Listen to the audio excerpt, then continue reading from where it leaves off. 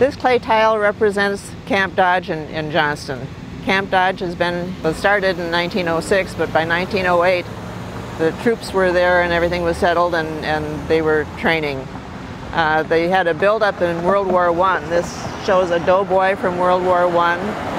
Um, they had a lot of history that was involved there with the, the influenza of 1918 and so many people came together from the Midwest and, and died.